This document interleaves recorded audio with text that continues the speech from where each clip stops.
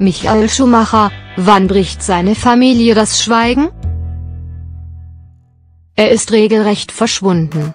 Sowohl ehemalige Freunde und Weggefährten als auch seine Fans haben Michael Schumacher seit dem 29.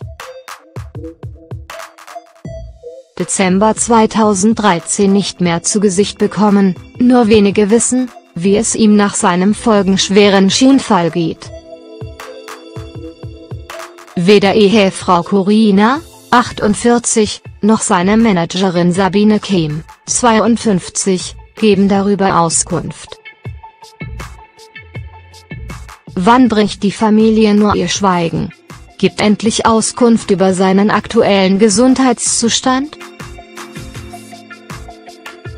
Einer, der Antworten auf genau diese Fragen fordert, ist Willi Weber, 75. Der einst enge Freund der Familie klagt jetzt in der Münchner Zeitung TZ an.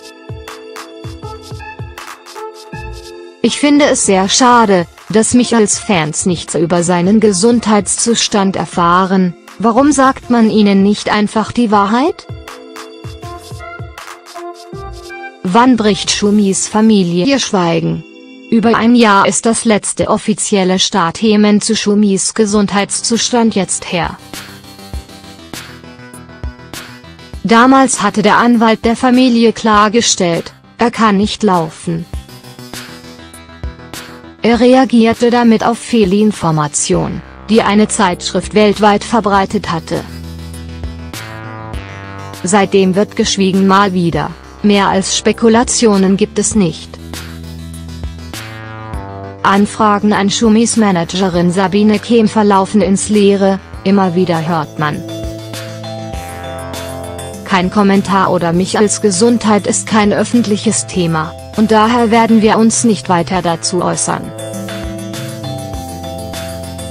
Aussagen, die Willi Weber ganz und gar nicht nachvollziehen kann.